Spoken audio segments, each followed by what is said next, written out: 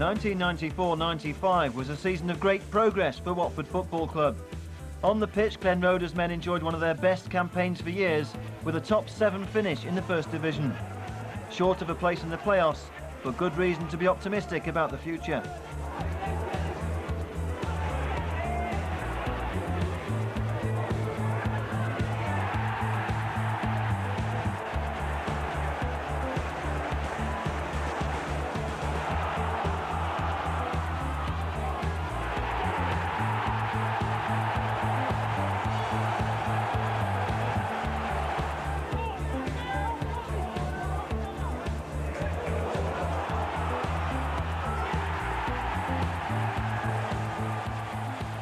Goalkeeper Kevin Miller had an outstanding season and his heroics helped Watford begin 1995 with a club record sequence of nine matches without conceding a goal.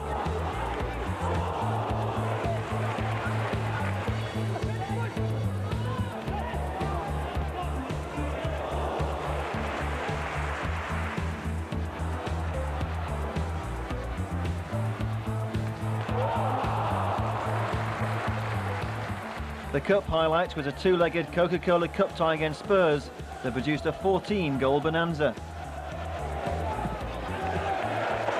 Klinsmann couldn't make it, and suddenly there's a break with Mooney now for Watford. Across the face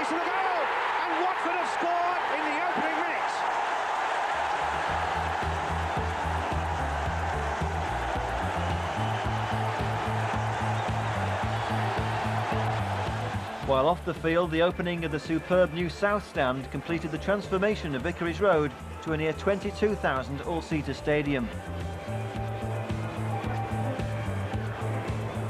The big pre-season news was the sale of Paul Furlong to Chelsea for a club record £2.3 million.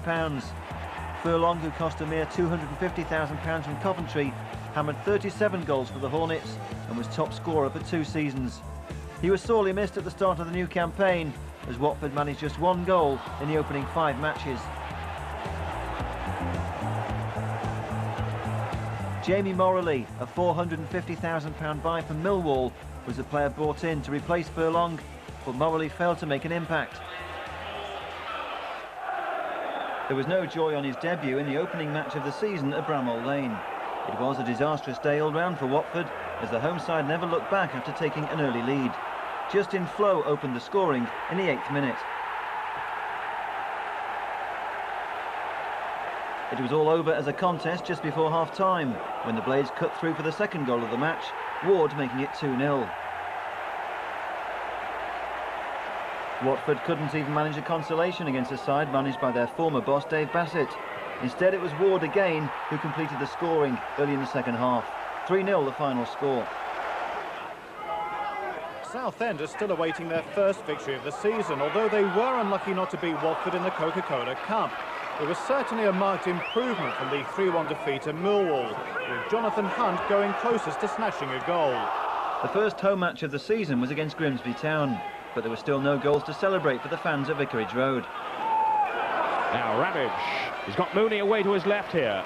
Drilled back into the middle again. In goes Ramage. Oh, hit of a penalty, but no. It's Mooney off the post with Brighton beaten. Now Ramage swept on again. This is Moralee, and a wonderful save then by Crichton. Towards Ramage, off the crossbar. Now Grimsby stretching Watford. In comes Groves. Terrific save then by Kevin Miller. And now the danger has passed. Towards Ramage, and Mooney! Denied by the post! An amazing escape then for Grimsby. After three games without a goal, Watford finally broke their duck in the Coca-Cola Cup decider against Southend. Now can Watford make this corner count? Moralee's header, down off the crossbar, Foster, and then Ramage! A goal for Watford. Craig Ramage, his first of the season. The corner swung over. Moralee's header just touched onto the bar by Sansom. And although Foster couldn't steer it in, Ramage could. Still just a slender one-goal advantage then that Watford are defending. This is Gary Poole for Southend. A positive burst. Oh, what a late tackle then by Gary Porter, and he could be in serious trouble here. He has already been cautioned in the game and now faces the prospect of being sent off. There indeed is the second yellow, so a red card for Gary Porter. I must say my first reaction was that it was just a mistimed tackle by Porter as Poole made positive tracks towards the Watford goal. He certainly made contact then with Poole. Morley. Thompson. Long ball towards Fjortoft. Finds it, controls it well. Scott runs one way. Ling's making the run forward. That's for Martin Ling. Little chip over the keeper. What a beautiful goal. Taken with absolute ease. Superb control from Fjortoft over the far side. Scott went one way, Ling went the other, and it went to Ling, and he easily chipped Kevin Miller. The perfect start for Swindon Town. Ramage. Porter. Foster. Morley's in here. Still Morley. Good save. Second attempt. That'll go for a corner. And it just went over the head of Andy Thompson. And Morley was in the clear. Digby got his foot down well to save. And did enough to deny him the second time around.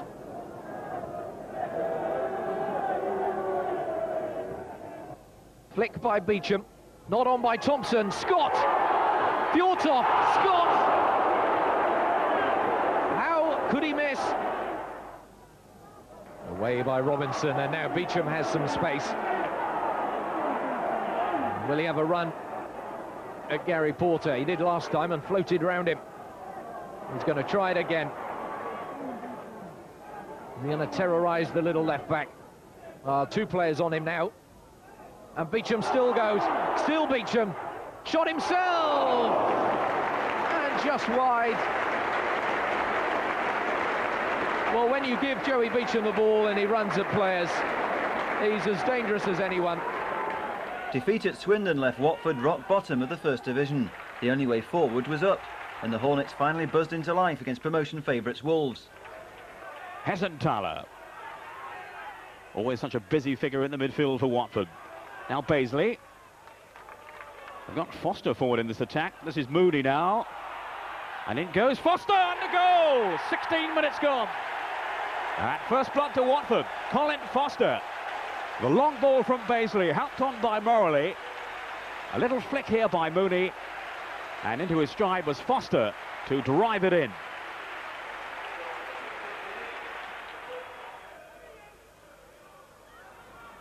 Geoff Thomas. Trying to force his way to the byline, but Bazeley with the interception. Now, how quickly can Watford spring forward here? Good flowing move. Off goes Ramage. He's got Mooney away to his left. This is Mooney now. It's a great chance.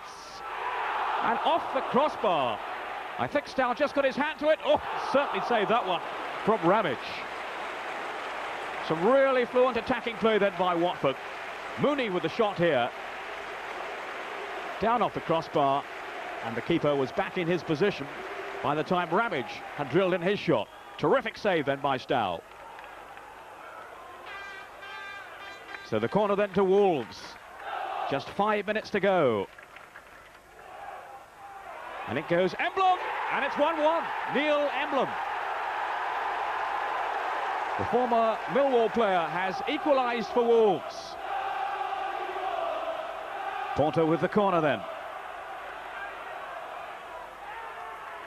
Only partially away. Now Richard Johnson. And a shooting chance and a goal! It's 2-1 to Watford. Two minutes left. And what an opportune moment for Richard Johnson to score his first goal of the season. And just look at these scenes of celebration now around Vicarage Road. It looked to be a speculative shot, but it was a thunderous one from Johnson. No chance for Stow. Brian Robson's high-flying Middlesbrough arrived at Vicarage Road with a 100% record and without a goal conceded. But following the win against pre-season promotion favourites Wolves, Watford had the confidence they needed. They even coped with having Kevin Miller sent off.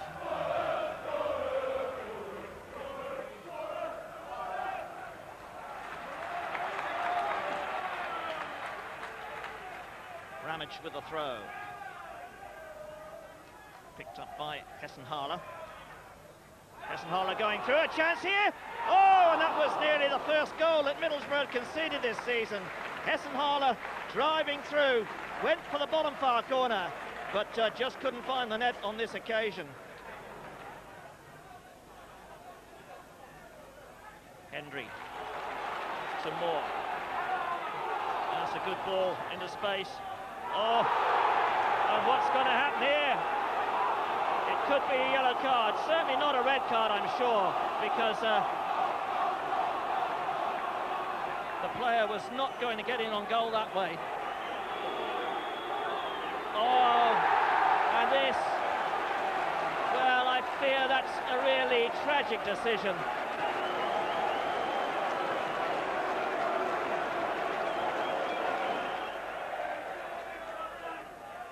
Pollock to Fleming.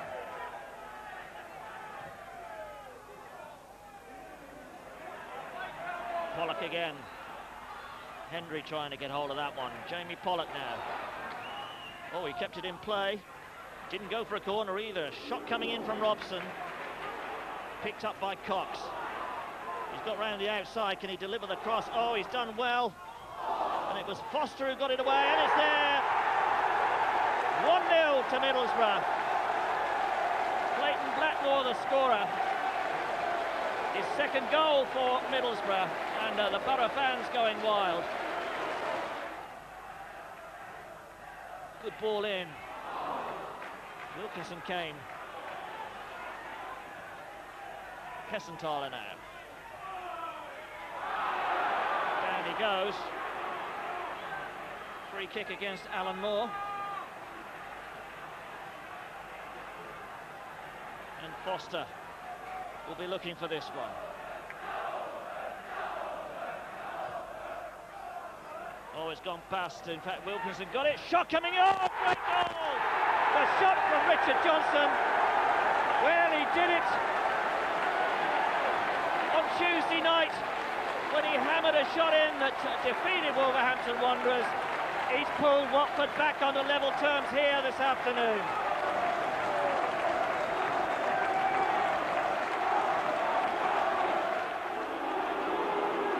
And away comes Brian Robson. Nice ball to Pollock. And things developing on the left-hand side for Middlesbrough. Pollock again, chance for the shot. Tries it. Oh, he hit that well. Great save by Perry Digweed. Superb shot, though, from 20-year-old Jamie Pollock. It was a bad start uh, for the club to the season, but you seem to be pulling things around now. Yeah, since uh, 3-0 defeat, we've done we've done well. We've worked hard in training, and um, it's beginning to come together now. And um, you know, we get a few wins under our belt, and who knows? You enjoying it? Yeah, I'm enjoying it. Watford. Obviously, it's, it's nice to be part of a club again, and um, you know, since I left West Ham, it's, it's, I've really enjoyed it here. A one-match ban ruled Gary Porter out of the trip to Oakwell, where Barnsley held Watford to their third goalless draw of the season. The afternoon ended in total frustration for Tommy Mooney.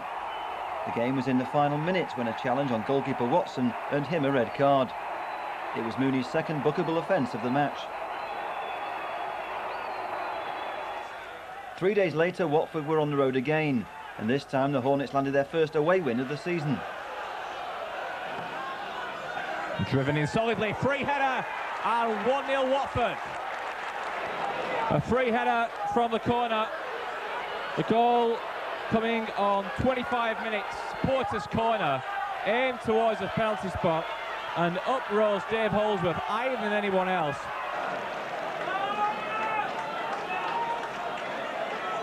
Again, it was poor marking at set pieces that let Oldham Athletic down. And questions have to be asked as to the ease in which Dave Holdsworth got up nodded that ball home. Could be two here. And just wide from Gary Porter. Oh no, surely a real chance for Watford to make it two. It'll be all over now if Tom Mooney can do it. He's brought him down. What's the referee given? He's given a penalty. And Paul Gerrard sent off at Southend the other week for a similar incident, suspended for the match at Derby County this weekend, faces another red card here. Drama in the final seven minutes at Boundary Park. And another red card for Paul Gerrard.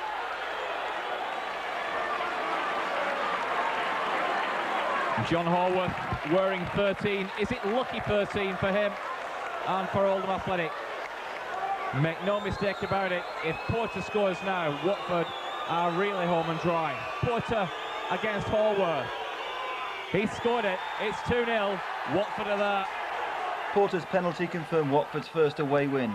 But back at Vicarage Road, a four-match unbeaten run was shattered by arch-rivals Luton. Colin Foster failed a morning fitness test and Watford clearly missed their key central defender, despite taking an early lead.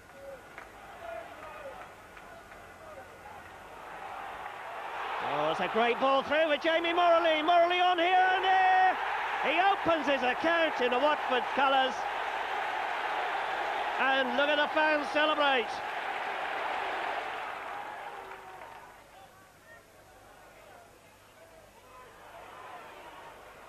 Oh, bad clearance. Oakes with a shot. What a goal!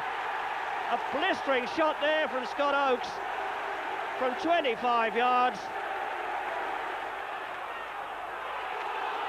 Away goes Dwight Marshall after that one. He's held off by Johnson. This is Priest. Good ball by Priest. Mitchell Thomas with the header. Oh, and he set it up for Dixon. And Kerry Dixon doesn't need a second invitation.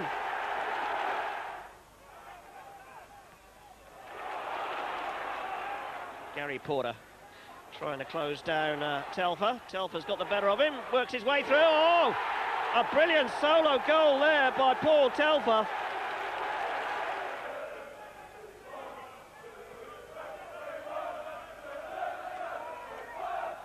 Richard Johnson Nice ball in. Hessenthaler's there. Oh, he didn't get to... It's there! Forced in by Tommy Mooney. Hesitancy there in the Luton defence. Hessenthaler seemed to have lost his opportunity as he, uh, he turned right round instead of going the quick way towards goal. Kerry Dixon finding Preece. And there's one for Dwight Marshall to uh, latch onto. Good defending by Jason Solomon. Didn't allow him uh, to get away from him. It's there, though, and uh, couldn't prevent the cross. And a second goal of the uh, game for Paul Telfer. A disappointing result after going ahead. Watford again struck the first blow against Premiership glamour boy Spurs. So will it be a night of rehabilitation for Spurs? Remember, they've lost three of their last four in the Premiership against an eager Watford side have already held them to a 1-1 draw here in a pre-season friendly, which was certainly played at some pace. Ball played long there towards Sheringham. Klinsmann couldn't make it, and suddenly there's a break with Mooney now for Watford. Across the face of the goal, and Watford have scored in the opening minutes.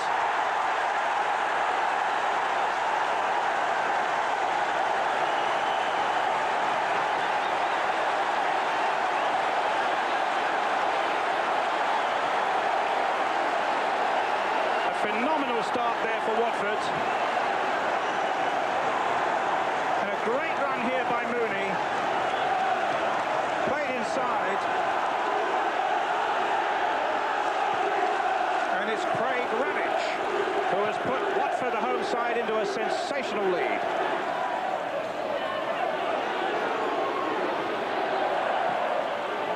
Holdsworth getting that away for Watford. They try to thread the ball through to Klinsmann. A back heel by him. Dumitrescu's in there. Anderton's in there as well. And it's a goal! Darren Anderton makes it 1-1. Klinsmann, good turn. Has he got the better of Holdsworth here? Still Klinsmann! It's another goal! For Jurgen Klinsmann, who this season is a real goal-scoring machine for Tottenham. Popescu just poking the ball through to Mabbutt. Campbell knocking it wide with their space for Kerslake to exploit on the far side.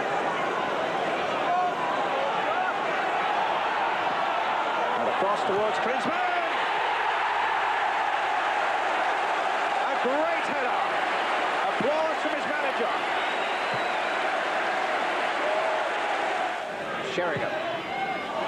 Dumitrescu. Well, he and Klinsmann are up there. There's room for Klinsmann. Is this the hat-trick? It is!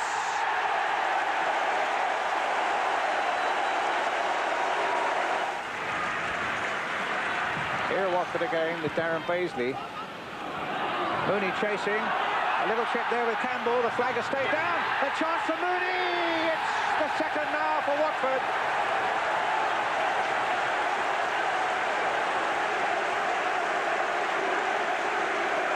Campbell felt that he was uh, fouled there by Mooney.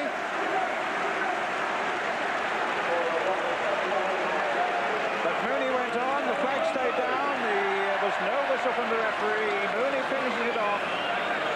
It's now Watford 2, Tottenham 4.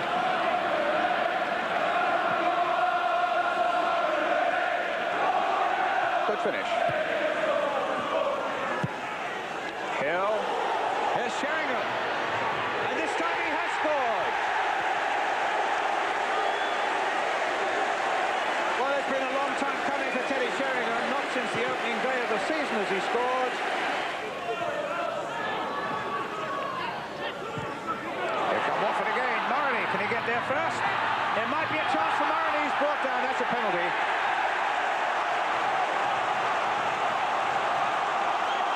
The referee might want a word with Walker. The uh, Watford fans are saying off, off, off, but I'm uh, glad he hasn't done that. But there was a good darting run there by Morley. And uh, as Walker came out, he took him pretty badly, to be honest with you. And it's Gary Porter with the penalty. Saved by Walker. Well, we've just about had everything now. Klinsmann. Sheringham. Knocked down for Dumitrescu. This is another one, surely. That makes it six. Dumitrescu. Payne. And now Johnson. picked on by him. Hessenthaler with a chance here for Watford, maybe. That's another one. That makes it three for Watford, six for Tottenham. Well, it was Hessenthaler who got the ball in. Whether it took a little deflection here because the angle was such an acute one. Possibly it was Morley who finally pushed it over the line. But he goes round Walker. And in fact, it was probably an own goal by Gary Mabbutt. The full house at Vicarage Road had been well entertained, even if it wasn't the right result for Watford. The goals continued to flow in the league clash with high-flying New Boys Reading. Reading with four men in the wall, another alongside, and there are four Watford men clustered around the ball. Johnson looked like he was shaping up. Johnson it is who lashes in the shot, and what a fantastic goal it was. Five minutes into the first half, and Johnson was always looking set for that shot, and drove it into the corner of the goal, with Hislop absolutely beaten. A superb goal for Johnson, his third of the season, and it's Watford 1, Reading nil.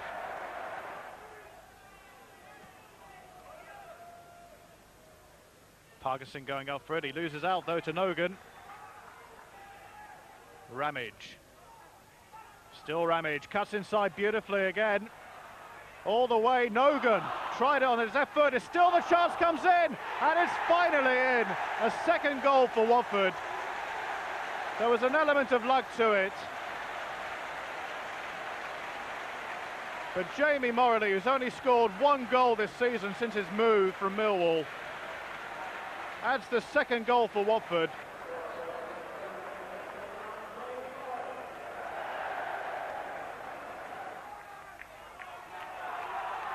Williams. Lovell looking for the return from Jokes and gets it. Cuts inside. Couldn't get the shot in. Might come in now, though. And what a goal it was from Simon Osborn.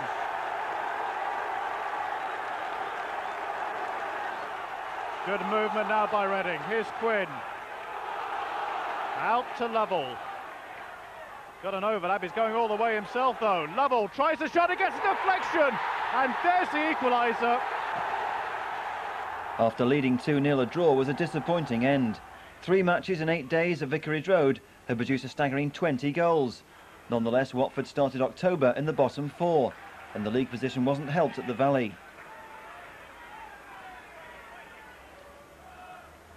Watford almost escaped when a long-range effort from Steve Brown hit the post. But Gary Nelson was quick off the mark to give Charlton the lead. Charlton had struck the opening goal right at the start of the second half. And minutes later, Kim Grant, a replacement for Nelson, extended the home side's lead.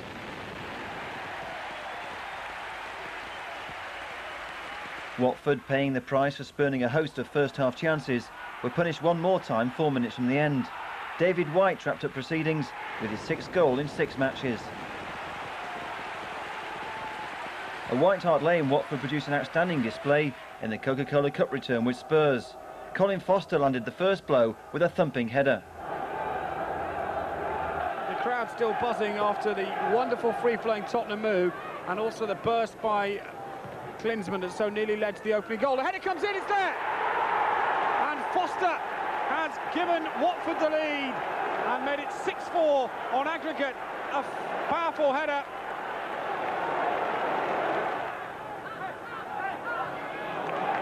Here's Klinsmann. A challenge for the defenders. Great touch to Barmby. Can he finish this time? No flag this time. Nicky Barmby equalises on the night. And Spurs have a three-goal advantage once again, thanks to the brilliance of Klinsmann and the striking finish of Nicky Barmby. So Watford have a corner now. Number four is Colin Foster. Watch out for him. He's sure to be the target man. Campbell with him at the moment. In comes the corner, and Foster does go in with Campbell, who missed kick completely. And then comes the drive, comes in. It's still one all, and a great chance. It's now 2-1 to Watford. Make that 7-5 on aggregate. Well, an amazing start into the second half. Lee Nogan, the scorer. Jason Tyler. And uh, away goes Barmby. He's got Klinsmann unmarked. Jurgen Klinsmann. That was a brilliant finish.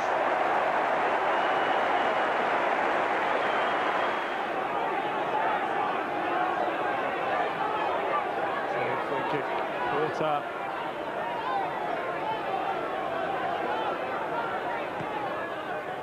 Mason Tyler. Little chip. Great chance. It's a goal. Watford have the lead. And it was curled in. It's 3-2 on the night. Well,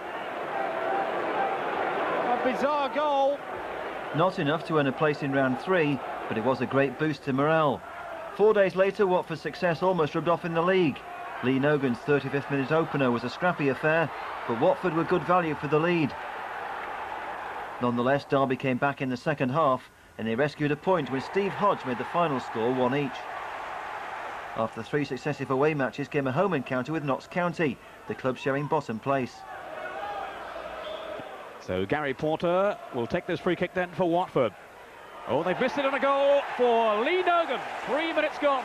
And a flying start then for Watford. Some dreadful defending by Notts County, it has to be said. I think it's Gary Mills who misses his header there completely. In it, Nogan. And Watford take the lead. Johnson. Good running here by Nogan. Oh, it's an open goal, and Jamie Moralee makes it 2-0. 13 minutes gone. And once again, Notts County found wanting defensively. They were all over the place then. Nogan who flicked it on.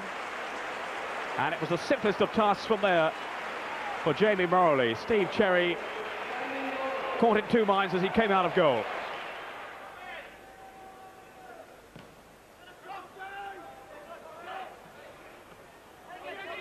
Here's Nogan. Now Tom Mooney. Hessenthaler. On by Johnson to Mooney. Superb attacking here by Watford, and they have their reward with a third goal from Craig Ramage. Just a couple of minutes into the second half. And some really attractive play here. Ramage left in the clear, and he steered it delightfully into the corner. Devlin after this one, and he's got away from Porter. Now Williams, it's 3-1. Next up at Vicarage Road with Tranmere Rovers. The Merseysiders were riding high in the top three. Here's the corner. All the flick on at the near post was from Ramage. And Malkin failing to clear. Morley now. Back it towards Foster. Still Tranmere can't get it away. Watford for the moment laying siege to the Tranmere goal. Here's Foster again. And Ramage and Nogan. And it's there. Nixon almost motionless on his line. And Lee Nogan has steered his team in front. 24 minutes gone. The towering figure of Foster made his presence felt. An unselfish header down by Ramage. And a really good finish by Nogan. Hessenthaler with the free kick. Who chipped in delicately too. This is Nogan. Oh, terrific save by Nixon, but Nogan is there again. And with 15 minutes left, Lee Nogan scores his fourth goal in three games to surely put the game now beyond Tranmere's reach. Nixon did so well to keep out the first one, but stood no chance with the second. Seven points out of three games has started to move Watford in the right direction. But the Hornets revival hit a black spot at Burnden Park where a super save from Keith Branagan denied Craig Ramage. Bruce Rioch's men were in top form, and the home side went ahead when Paatelainen struck the opening goal midway through the first half. Before Bolton scored, Watford had looked the more likely winners, with an impressive display in the opening 20 minutes. But once they went behind, the match turned, and Bolton never looked back. John McGinley made it 2-0 early in the second half. Six minutes later, a foul by Hessenthaler on Patterson conceded a penalty. And that was the cue for Bolton to wrap up the contest. McGinley accepted the opportunity to score his second and make the final score 3-0. October had ended the way it started, with a 3-0 away defeat. And that meant Watford began November back in 17th place. Newly promoted Burnley, meanwhile, had put together a five-match unbeaten run but it was inform Lee Nogan who set the pace with his fifth goal in five matches. Oh, and that's Mooney away. The offside trap this time, and uh, oh, it's in the back of the net. Mooney made the spade work, the ball played in. That was a quick break from the visitors.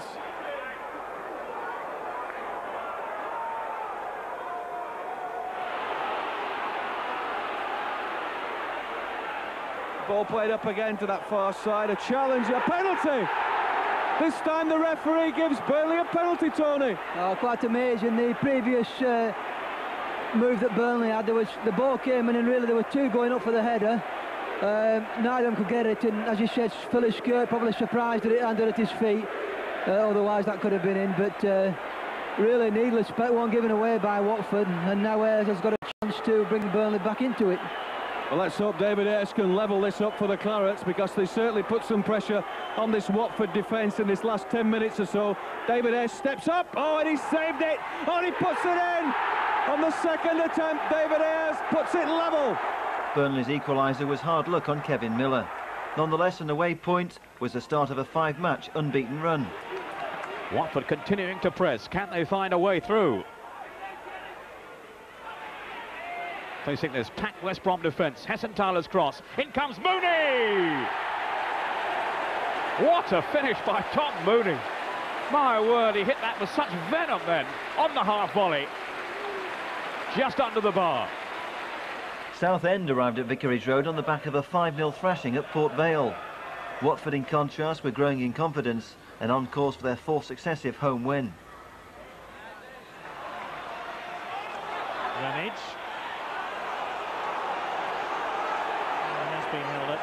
commentary to a Watford player.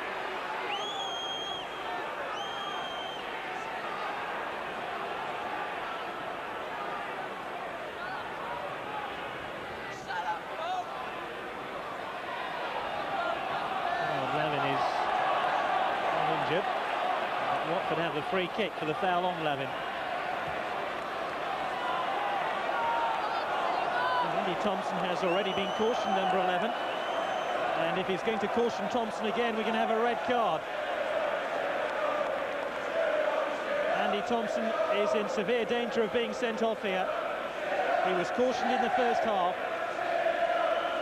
It's his second yellow. And when the referee finds it, there's not much to smile about. That means red.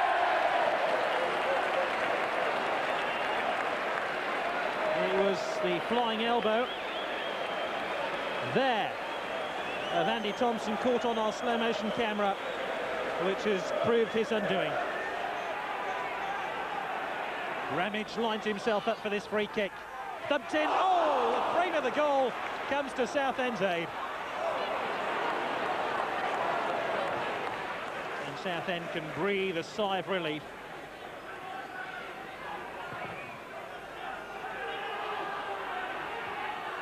Holdsworth, Otto, Jones.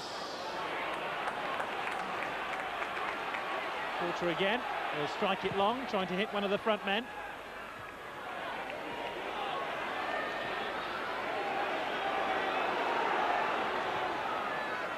Nogan, Ramage, Morley. Still Ramage, Hessenthaler.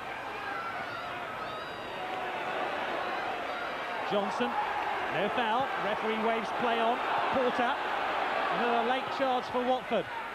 Hessenthaler's arriving here, Nogan, he's through and won the game!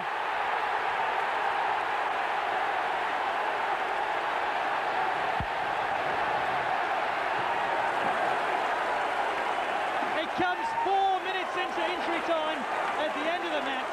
Hessenthaler headed back across the face of goal and Lee Nogan with his eighth goal of the season means Watford surely have won this one. My goodness, they left it late.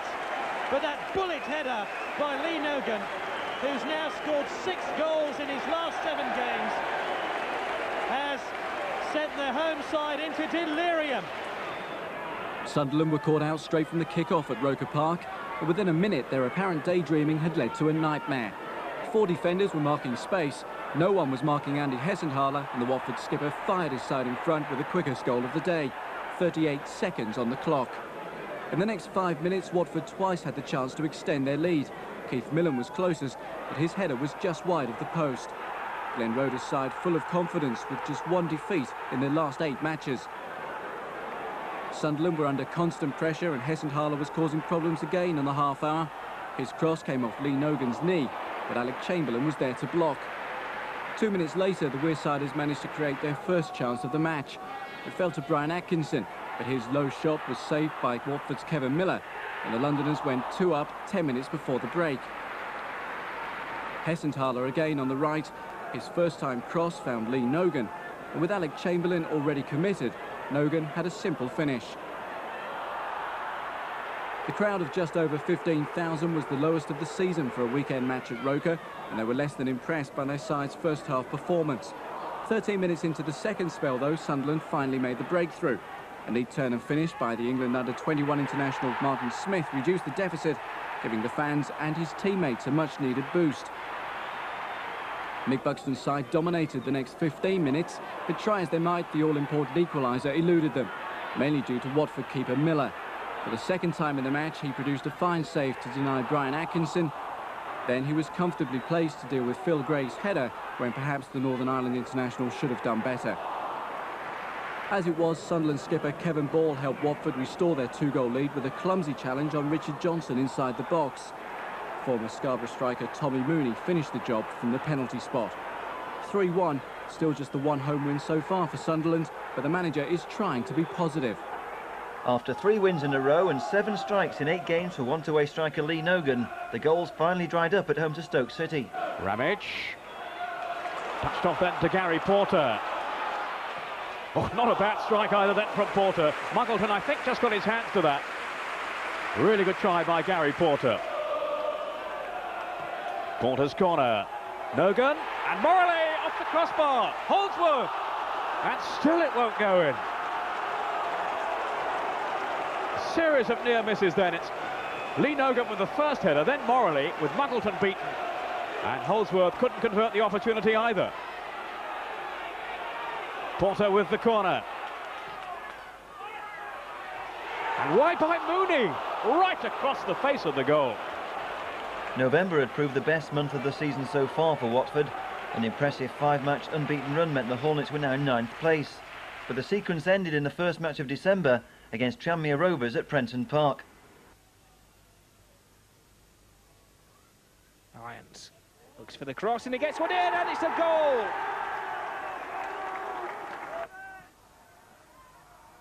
Oh, nicely turned by Ramage. He has space. He needs support. It's a good cross from Ramage. There's a chance and a block. It goes in. Deflected.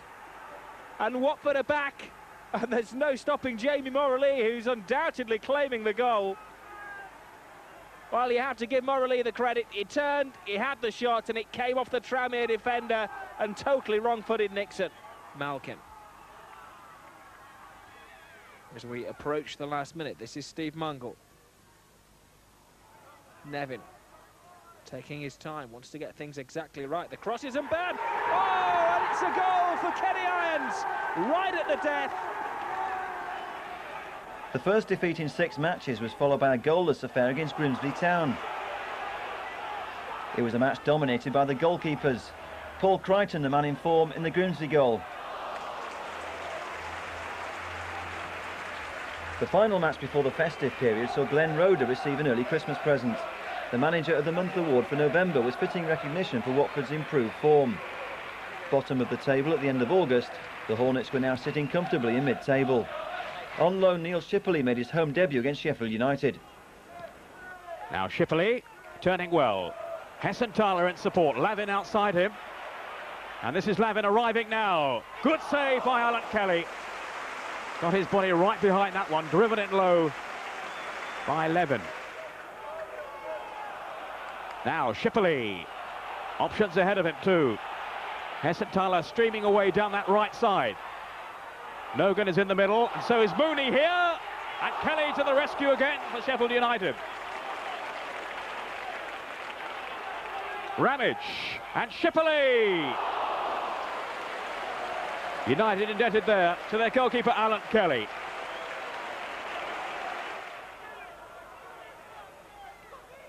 Hessenthaler laid off for Mooney and he struck it well and Kelly in bravely Shipperley and somehow they've got it clear unlucky Neil Shipperley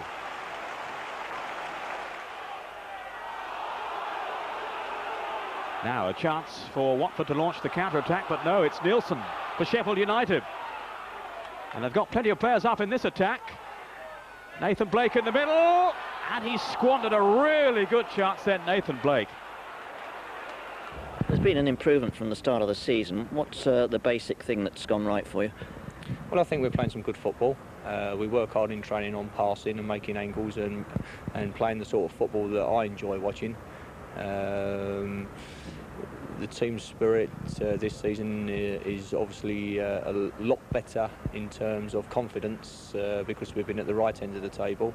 Uh, although we've just slipped a little bit in recent weeks. Uh, last year was a tough first season for me. We, we, was at the bottom end of the table, and it was hard uh, to keep the team spirit going. although the boys managed it, it was much more difficult, and it's much nicer being in the top half of the table than, than in the bottom half. Yeah, well, you, your goals against record is, is pretty good of late. Yes, that's improved uh, greatly um, from last season, and it must continue to the end of the season. Obviously, uh, I would think I would have thought your next question would be that you haven't scored as many goals because we did score a lot of goals last year, considering that, that we was in the bottom uh, three or four for long, a long stretch. Sometimes it goes like that. I obviously haven't uh, really found the right combination up front as yet. Uh, we've looked at many players at other clubs. Uh, for one reason or another, we haven't been able to bring in that that proven goal scorer. After two successive blanks, Watford enjoyed some festive cheer on Boxing Day against Portsmouth. This is Creaney. Good skill too by the Scotsman. Now Daryl Powell. A player with exceptional pace. And he's looking to use it here. Still Daryl Powell. Oh, just beyond Wood at the far post. Little burst of acceleration then by Powell. Wood sloppy at possession. It's Gary Porter now. Up towards Shipperley. Daniel. All brushed aside by Shipperley. Hessenthaler. And Ramage. Yes! 63 minutes gone, and at last, a breakthrough for Watford. And it was the determination, the aggression of Shipperley that helped to lay it on. Hessenthaler's accurate cross, and the header arrowing into the corner from Ramage. Five minutes to go. Butters and oh, Alan Knight in trouble. Shipperley! 2-0. Neil Shipperley with his first goal for Watford. And he owes much there to some sloppy defending by Portsmouth. Butters clearly expecting Knight to come out, but he didn't do so with any real conviction. And Shipperley has taken advantage. 24 hours later, Watford came up against an in-form Millwall side, seeking their sixth win in six matches.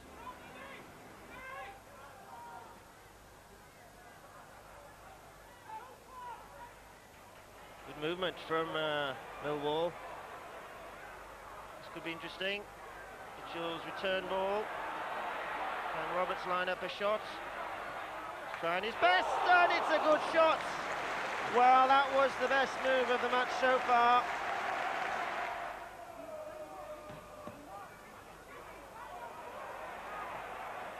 Challenge from Roberts. There goes on, Mitchell. Managing space, can he line up a shot? He does! Oh, and it's the bar!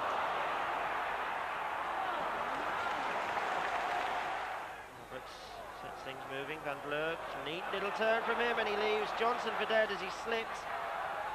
Good ball into the box. Foster should deal with that. No, he slips and he's fouled Dave Mitchell. It's a penalty. Van Blerk's cross. Colin Foster's mistake. He really made a hash of that. Made sure he caught Dave Mitchell. Penalty is in the back of the net. Came flying back out though. It had hit the post for a minute. Pass. Mitchell keeps his feet beautifully. He's hurt though. Van Blerk gets the cross in.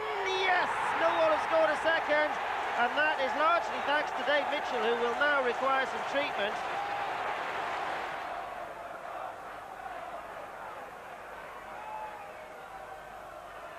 Foster again gets it, and it's in the back of the nets. Watford have pulled one back.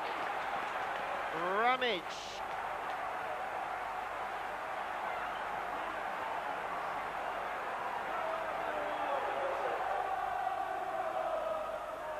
Snell's throw. And uh, now then, the referee awards a penalty. Ramage wins it. He thinks he scored already. He hasn't. Well, that certainly looked six of one. Half a dozen of the other to me. But the penalty given and the goal, which you felt might be coming, is probably about to. Keller saves it, moving to his left and diving on it. Tommy Mooney's late penalty miss meant Watford's fight back ended in vain, but all was forgotten at Vicarage Road. Ray Walker then with the corner for Port Vale. It goes Foyle, and it's a goal. Miller couldn't keep it out. Martin Foyle, 16 minutes gone. So Porter will take this free kick. As usual, they've posted Colin Foster forward. And there is Foster, 1-1. Just over half an hour gone. Well, how do you deal with this man on set pieces? He's such a menace with his height and his physical presence too. And he was first to that one. Potter with the free kick. Kevin Kent hasn't really got it away though. This is Lavin now, making excellent progress too to the byline. Oh, and it's gone in off the goalkeeper, Musselwhite. He was trying to spoon it over the bar and somehow turned it into his own net. Lavin with the cross.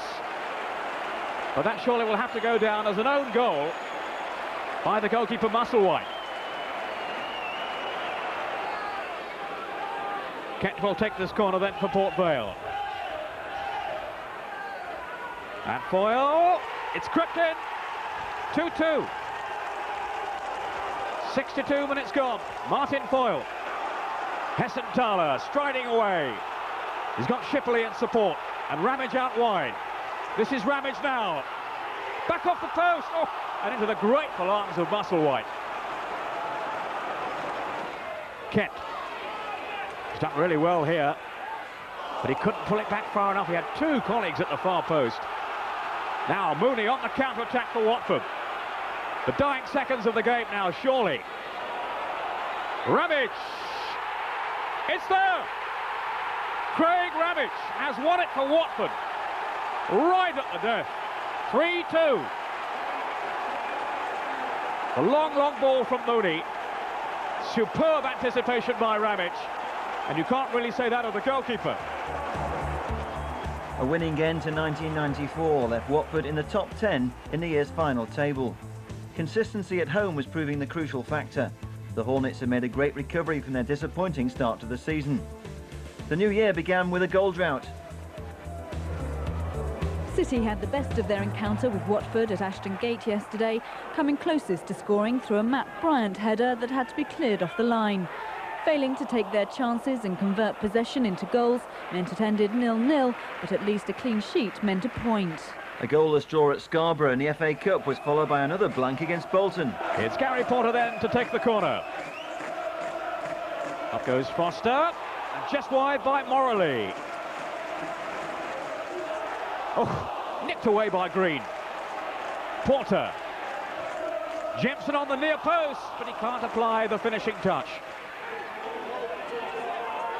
At the head of Foster, this is McGinley. Good save by Kevin Miller. The second home game in four days was the FA Cup third round replay with Scarborough. Heading in uh, instructions there from Kevin Miller. Foster up there, didn't make contact. Hessenthaler did. Oh, that's a good goal.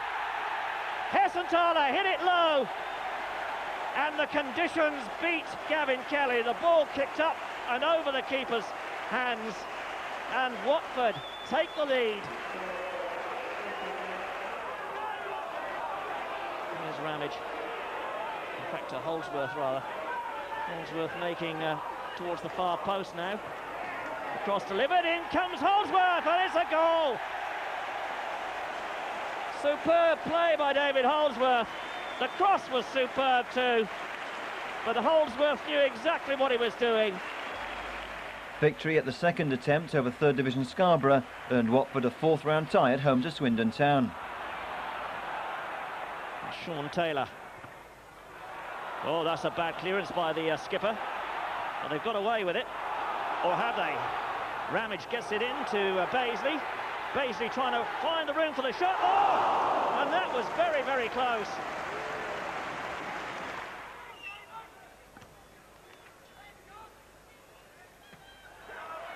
Ramage with the Hessenthaler going through. Must be 1-0. Well, claims for handball there. Nicky Hammond incensed, and he's having a word with the linesman. I must say that it looked like from here as if uh, Hessenthaler knocked the ball down with his arm. But two minutes into stoppage time, Andy Hessenthaler fires it in.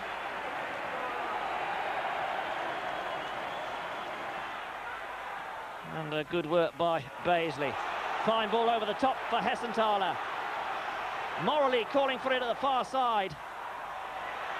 Bazeley, Morley can sew it up there. Oh, and he leant backwards as he fired in the shot. Just talk us through the goal, okay? I just the ball was played forward, just went up to support uh, Craig Ramage, and uh, the ball's gone here. He's, he's, just he's nicked it inside for me. I let it down. To be fair, I think uh, if it hadn't been so muddy, it might have run through to the keeper, but he hesitated, and uh, I had in my own mind just to, to smash it really, and uh, you know I was delighted it went in the back of the net. How much better was it for you that it was actually scored at the end where all the Watford fans were, as opposed to the empty end down the other side? Yeah, it's good. We obviously got our supporters behind that goal, and uh, normally uh, I win the toss and we, we go there second half, but uh, it didn't work out that way today. But uh, you know, it's obviously with our crowd behind us and that, and uh, it was a good crowd today. Um, obviously, gives you a lot more encouragement, and uh, we we done well first half.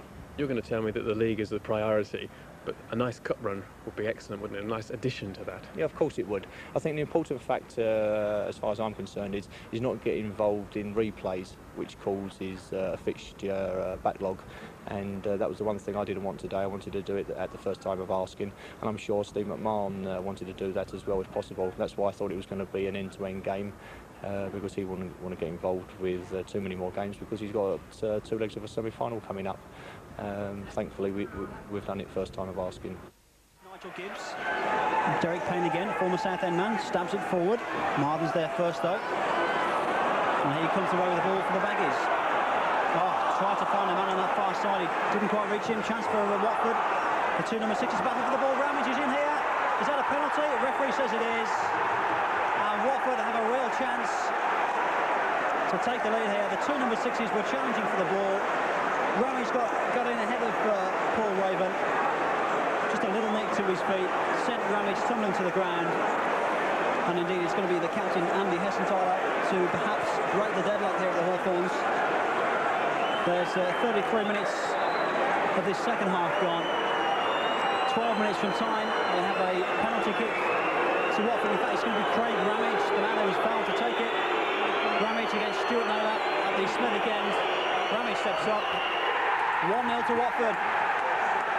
As the uh, small band of travelling fans go wild in the West Midlands Travel Community Stand. West Brom have uh, really shot themselves in the foot, to be honest.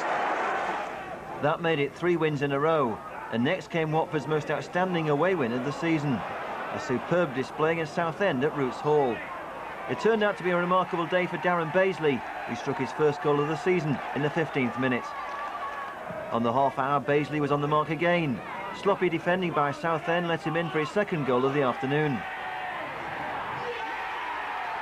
Then, five minutes later, Bazeley wrapped up a quick-fire first-half hat-trick.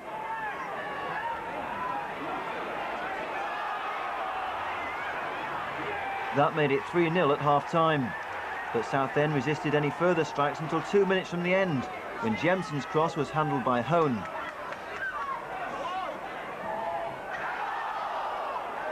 Craig Ramage stepped up to complete the route from the penalty spot. Meanwhile, another clean sheet for Kevin Miller meant Watford still haven't conceded a goal in 1995, a run that now extended to seven matches. On by Gibbs. This is Bazeley now, on this very heavy surface. Whipping over his cross. Oh, no one in a Watford shirt on the end of it, though. Lavin Good cross in and a goal for Ramage. A really brave header then by Craig Ramage. And Watford are in front seven minutes into the second half. Lavin with this accurate cross. And once again, the predatory finishing of Ramage very much to the fore. Ramage. Now Payne. Ramage again. And this is Bazeley. And it's a second goal for Watford. Darren Bazeley on 71 minutes. And Watford have the cushion now of a two-goal lead. Hit it sweetly into the corner too, beyond Beresford. Harper. Foster's first to it. Didn't get it clear though. Oh, that was a late tackle then by Payne. He was booked earlier in the game and I think it's going to be a red card now. Watford protesting, but they're getting no sympathy from the referee, and it's a red card indeed for Derek Payne. As he brought down Hoyland. Next, it was back to the FA Cup, and a fifth-round tie at home to Crystal Palace. Palace felt they were so unlucky to concede that goal at Anfield in the Coca-Cola semi-final on Wednesday.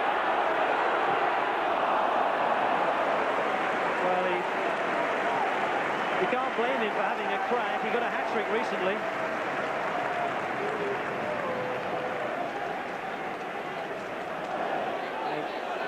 Palace have still got a lot of players in forward positions, and finally it does arrive at Salako. Whistle's gone, free kick.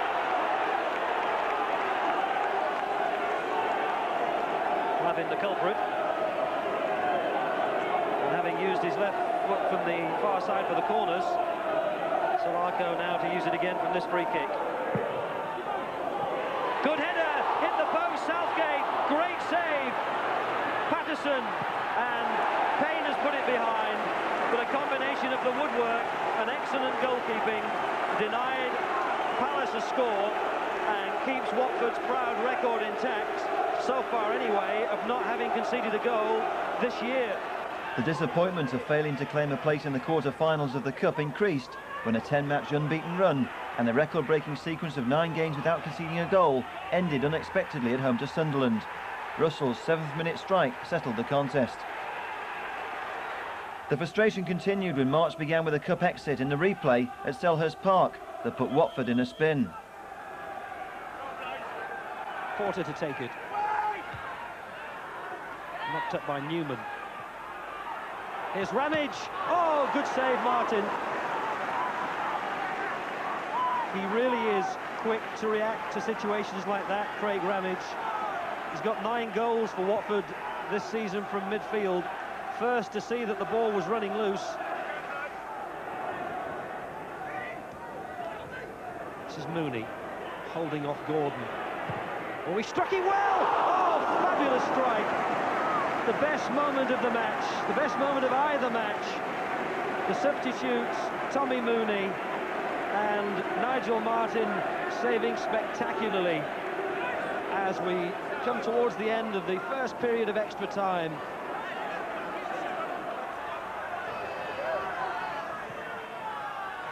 Again, it's crowded, it's in, and ah!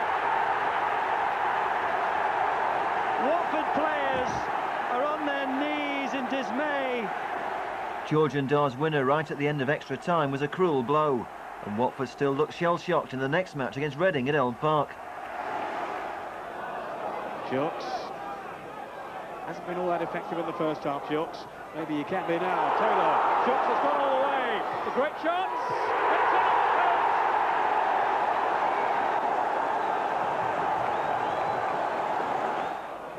Johnson caught in possession. No, no Gooding. And was tackle by Gibbs, who's already been cautioned.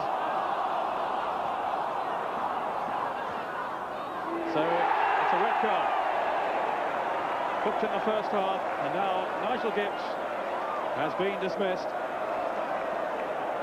I don't think there was any question there that the referee was going to reach for the red card once he decided the nature of the tackle.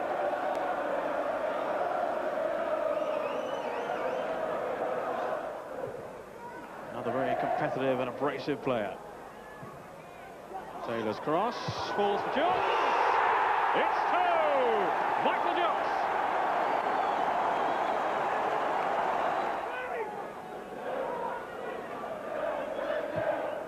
Williams hitting it well. Spun away. Hotberger.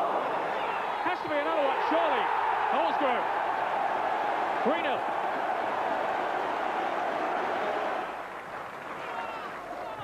Holsgrove. This is Parkinson. Holsgrove inside him. Now slid on for Taylor. It's another one. Hotberger. 4 0. Watford corner ball. But to get him back playing at his best, I think it's going to be crucial for Reading in the last few weeks of the season once he's served his suspension for the sending off. Shouldn't have praised him too much. Here's Hessenthaler. Lot has lost it. Phillips. It's a goal. And that all stemmed from the mistake by Williams. Kevin Phillips' last-minute consolation couldn't disguise a second nightmare in four days for Watford. Reading had given the Hornets a real going over, and it was no surprise when the losing sequence continued at Middlesbrough.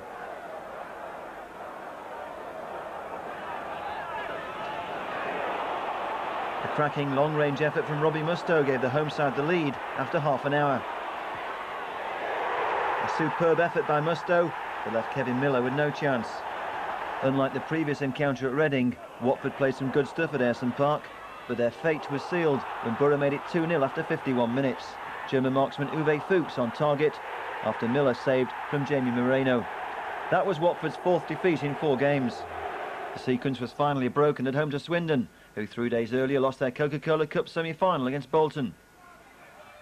Misunderstanding there, but it came through to uh, Nigel Gibbs, who's uh, switched to this right-back position now, following the departure of Bazeley. Hessenthaler's got in behind. Oh, that's a penalty. Oh, that really was a silly action by Kevin Horlock. He's thrown away all the good play that Swindon Town has shown here this afternoon. Horlock pushes his man. Down goes Andy Hessenthaler. And it'll be Craig Ramage. He scored twice from the penalty spot this season already to uh, face Fraser Digby from 12 yards. We're four minutes into stoppage time, but of course play continues for a penalty. Craig Ramage then can make it 1-0. Oh! Saved by Digby. That really was a half-hit uh, penalty by Craig Ramage. No real conviction in the shot. Here's Porter. Oh, it's a good ball over the top for Hessenthaler, who's got there. Is it 1-0? Yes, it is. Andy Hessenthaler, his fourth goal of the season. He's broken the Swindon Hearts there. Oh, that was a superb finish. He got in behind the defender. And the ball lobbed over the top was inch perfect. Hessenthaler helped it on its way. Digby had come off his line. The goal was empty. It's Watford 1, Swindon Town nil.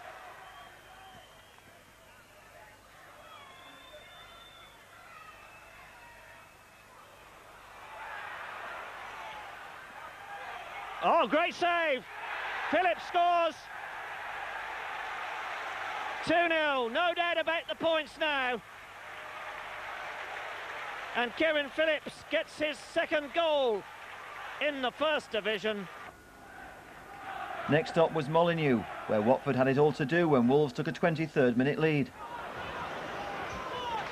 Dennison.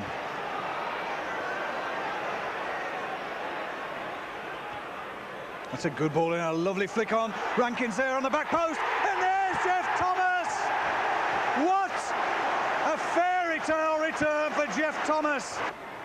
And Miller will rush to get this clear. Holdsworth storming forward from defence. He's carried on the run, Ramage. Hessenthaler. Oh, and it's a slip. Could be problems here. Phillips trying to find space for the shot, and he's done it. Kevin Phillips, right at the last gasp, as Peter Shirtliff slipped. Phillips steadied himself, found the space of the shot, and slotted it home under Mike Stowell. Super kid Kevin Phillips, a bargain £10,000 buy from non-league Baldock, grabbed the headlines and he stole the limelight again in the home match with Barnsley. So will they have a crack at goal from this uh, distance and angle? Tommy Mooney lining up there. So too is Johnson. Shot Callens back off the wall to Lavin. Not a bad ball in. Oh, it's 1-0. Keith Millen, the scorer. And Watford have opened up the Barnsley defence at last.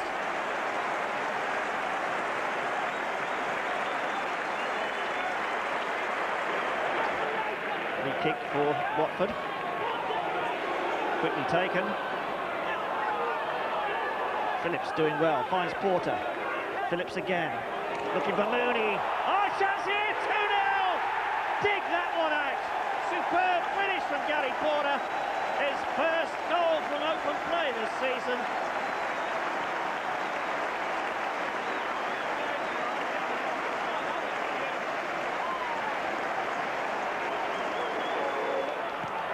Could have been dangerous.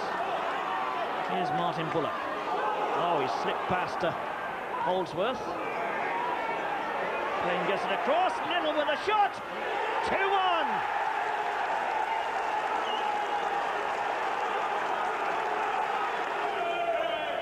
Look on the near post. Payton in the middle. Oh, it's in! An deflection there from Liddell.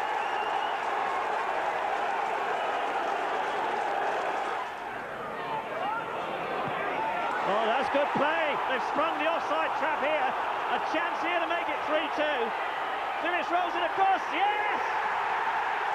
Beautiful ball by Gerard Lavin. And Kevin Phillips notches his fourth goal for Watford. Phillips' dramatic winner was his fourth goal in five matches, and he made it five in six at Kenilworth Road, where Luton struck an early blow. It's a difficult ball there for Porter, played to him by Payne, and it's Luton in possession again with Preece picking up Matthews. And Richard Harvey over on the left. Done well. Harvey's cross. And Foster hoping to get it away. And Luton through Telfer go one ahead.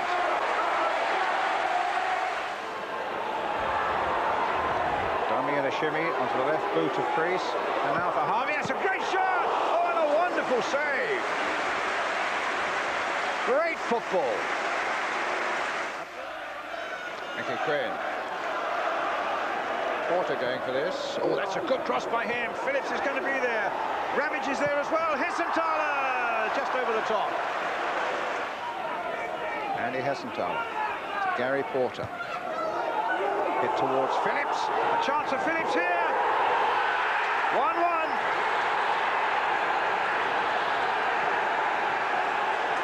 His amazing baptism in league football continues. Five goals in six games now from the 21-year-old from Baldock Town. And a really icy cool bit of finishing there. Watford won and Luton won now. Long last they broke the offside there and he just kept his head outside of the right foot and tucked it underneath there, young Kelvin Davis. But he's come close on a number of occasions. Delightful ball from Porter, just drops into his path. Good first touch and then it's cool as you like into the corner. Here's Preece. This is a really good competitive game now. And Beadle with his first touch is brought down. It's a penalty. It's a penalty to Watford. Really important kick, this one. The keeper saved it.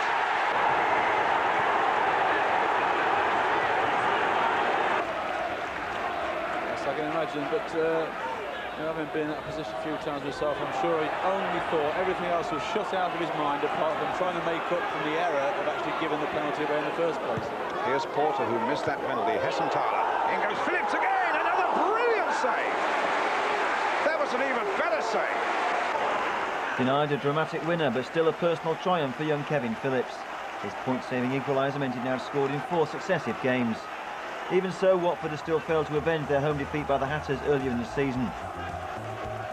A point meant Glenn Roeder's men finished the month of March in ninth position in the First Division.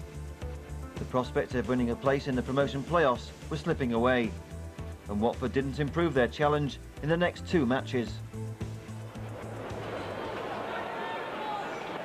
On April Fool's Day, the joke was on the Hornets, when they were caught out twice in the opening 10 minutes. The first blow followed an injury to David Holdsworth. Watford failed to clear the long throw that followed, and a miss-hit shot from Nicky Banger opened the scoring for the Latics.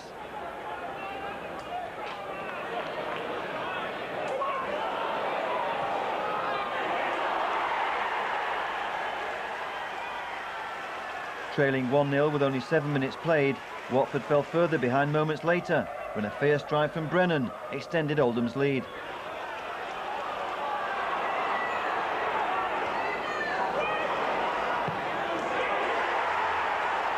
With Oldham needing the points to move away from the relegation zone, it was always going to be hard to get back in the contest. But Watford did manage to apply some pressure when they pulled a goal back on the stroke of half-time. Craig Ramage headed home to make it 2-1 at the break, but that was how it ended.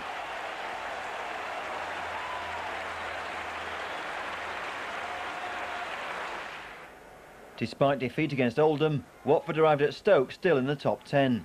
But once again it turned out to be a day of frustration. The home side eased their relegation worries when Sigurdsson broke the deadlock at the end of the first half. It turned out to be the only goal of the match. After three games without a win, Glenn Roeder's men finally got back on the right track at Port Vale. Porter. Little one two with Beadle, and it's Porter! And with two minutes left, Watford have taken the lead. Gary Porter.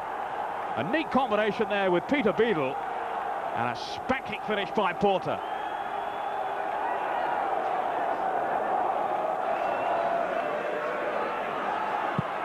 It is just five minutes from half-time as Andy May clips one in. Here's a chance for Dixon, and he's thwarted as well. Unlucky, he saw the opening there. And straight away to the other half of the field, it's Hessenthaler on the charge, and he's going to get into the area, two in the middle. Surely now here's a great chance on his debut for Pitcher! A debut goal for Jack Pitcher! Just what the game needed, just what he needed. Keller will consider himself a little unlucky, but what a marvellous moment for the 19-year-old on his debut. Back-to-back -back wins against Port Vale and Millwall offered an outside chance of getting back into playoff contention.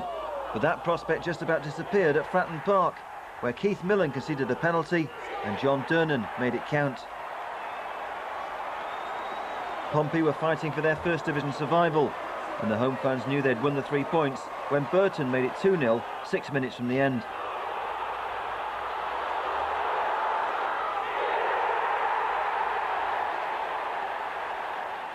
Kevin Phillips did manage a last-minute consolation. A finely taken header by the youngster made it 2-1, but it was too late to stage a fight back. Watford's winning run was over. Hessenthaler. Go the heads again. Hessenthaler. Millen going in for that one, beaten by Allison. And this time Welch comes, doesn't claim it, chance for Ramage! Oh, my word. Clear off the chest of the defender there. So Gary Owers with the uh, free kick. Hooked back across there by Dryden. Oh, danger here! Great save! Brilliant stop by Kevin Miller. Scott Partridge at the goal, gaping in front of him. And from what, four yards? Kevin Miller got behind the shot and kept it out. Super goalkeeping from Kevin Miller. Hamish has gone round the outside. Throws it in, headed away by Owers. Ramage, good ball in, 1-0! Super strike from Kevin Phillips. He stooped to head it in. And Kevin Phillips makes it Watford 1, Bristol City nil. His seventh goal for the Hornets. Next came a trip to Meadow Lane. Notts County already doomed to relegation, but Devon White caught Watford cold when he landed a knockout blow in the fourth minute. It turned out to be an afternoon to forget for Kevin Phillips. For once the young striker failed to hit the mark. Despite a hatful of chances for Phillips, White's early strike turned out to be the winner. With two home matches remaining, Watford's target now was to end the season in positive fashion. Well, the keeper has had a save to make yet. 22 minutes into the game. Beadle got the flick. Oh, that's a great strike. Not a bad save either. But what a strike from Kevin Phillips. He hit it on the volley, and that was going until Mike Ammann got his hands to it. Chance here. Oh, great save. Shot coming in from Colin Walsh. And a brilliant save by Kevin Miller.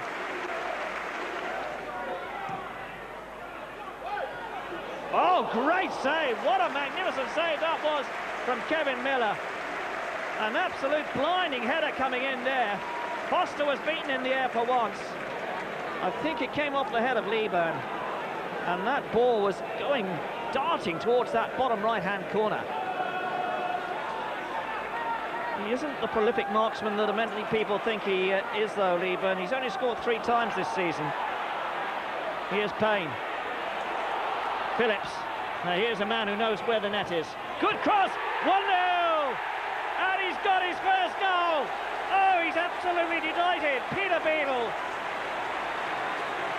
Courtesy, Kevin Phillips. A really classic goal. Phillips getting round the outside there, squares it back, and a simple uh, one for Peter Beadle to uh, side foot in. His first goal for Watford in this his 19th league appearance. Hessenthaler then. Foster calling for it. Here it comes, it's too deep for him, but not for Phillips! 2-0! Kevin Phillips keeps that astonishing record up. His eighth goal of the season in this, his 15th league appearance. And Watford lead Charlton Athletic by two goals to nil. The midweek win over Charlton was a good boost before the final match of the season. It was time for Kevin Miller to receive the Player of the Year award. Miller's brilliance in goal had played a key part in making this Watford's best season for years. Nine matches without conceding a goal at the start of 95 was a record-breaking achievement that owed much to Miller. A popular choice with the Vicarage Road faithful. The final opponents were Derby County. Derek Payne just calling for somebody to come a bit closer. Hessenthaler hits it long.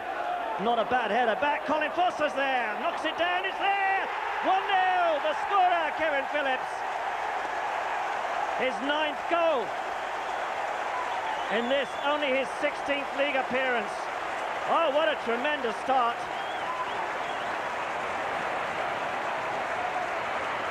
Just two and a half minutes into this game, and Watford take the lead with a beautiful header there from Kevin Phillips. The ball played across by Andy Hessenthaler from the free kick, headed back by Keith Millen. A good knockdown by big Colin Foster. And there was the little Kevin Phillips towering above everyone to send in that uh, searing header.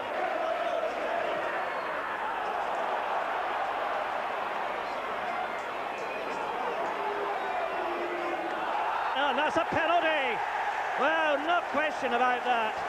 He just took his legs. Paul Williams protests his innocence, but I don't think there can be any argument at all. It was clear cut from uh, this angle anyway. And uh, referee Bob Harris from Oxford immediately pointed to the spot, and I think quite rightly so.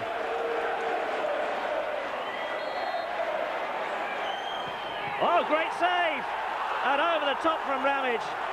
Steve Sutton crowns his return with an absolutely magnificent penalty save. The ball was struck hard and low towards that bottom left-hand corner. But Sutton showed that he'd lost none of his reflexes.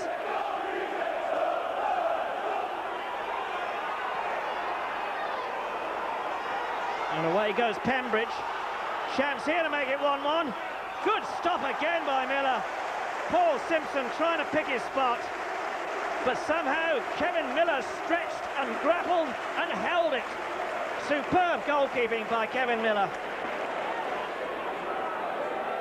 Looks like he might be the one to have the, uh, the final strike here. Paul Simpson knocks it. Pembridge tries the shot. Oh, and there it is. His ninth goal of the season. Well, Kevin Miller, who uh, beat Jeff Morton's uh, record of eight consecutive clean sheets earlier this season, is not going to finish with a clean sheet in this uh, season. That's a penalty. No doubt about it. Hessenthaler upended. And it really was a clumsy challenge. Now then, Sutton's already safe from the spot. I think Craig Ramage will take charge of this one. Six goals to him this season.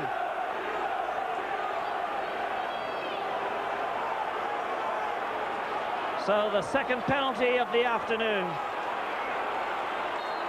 Can uh, Ramage make it? Can he? Can! Tucks it away. And Watford regain the lead.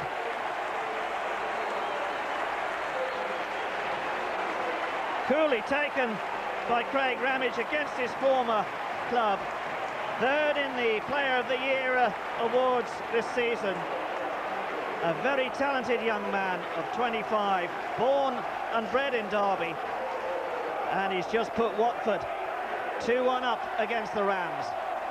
An entertaining contest and a super win meant Watford completed a satisfying season in seventh place. A great achievement by manager Glenn Roeder, Rock bottom at the end of August. Watford's great recovery augured well for the future. Well, Glenn, seventh in the league. It's uh, a great improvement on last season. Yes, significant progress has been made this year and um, I can now, over the next few days, look back on the season and I think I'll find that I'm quietly satisfied with the progress that we've uh, made. Um, a little bit disappointed that we never crept into the playoffs, uh, although that situation evaporated probably a few weeks ago and we, have known for a few weeks that we wasn't going to get there. But uh, these last couple of wins has uh, got us uh, to within about six points, isn't it, of the playoffs. So uh, that's something for us to go for next year. Obviously, the defence is now sound and looking very good, particularly the goalkeeper at the back has uh, given you a lot of stability. Uh, you seem to create quite a few chances. Is it up front where your problems are? Well, you can look at the goals we've scored uh, this year and say we haven't scored enough. In, in, actual fact, we scored more last year and we only achieved um, uh, 54 points, but we were horrendous at the back and let in 80. Um, I believe that uh, all good teams are built from the back. Um, Rome wasn't built in a day, and it's difficult to get all parts of the team uh, right in uh, in one season. Um, so uh, my plan was to get it right at the back, be solid at the back, don't let goals in. Uh, we've only conceded 46 uh, league goals in 46 games, which is excellent. Now, as long as we maintain that sort of form at the back, now I can get to work on the forward part of the team. Well, the manager said, uh, Kevin, that he knew you had a good first touch, but he didn't know you could score goals. right.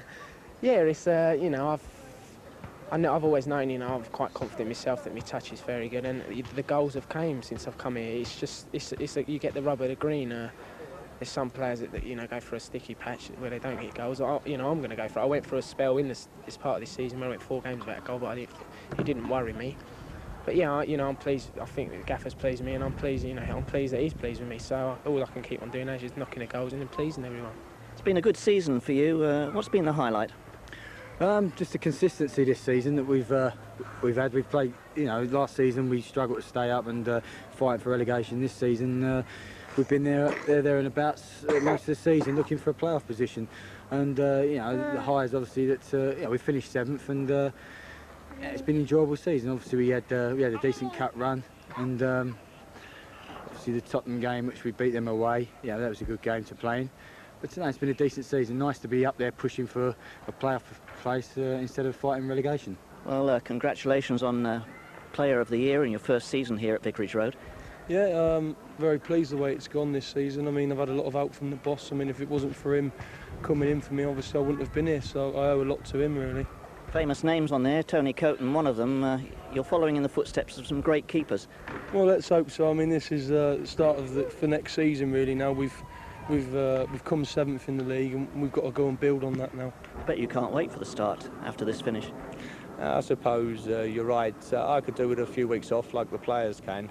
Uh, you need to recharge your batteries. Um, you need to get away from the ground so that when you come back you're fresh and all the enthusiasm uh, is there again and new ideas and um, but I suppose you're right. In a couple of weeks' time, I'll be uh, wanting to uh, get back into work and uh, probably be impatient for the season to start. But uh, there is a lot of work to be done, and it's important that uh, I improve the quality of the squad the way we improved the quality of the squad at the end of last season. うん。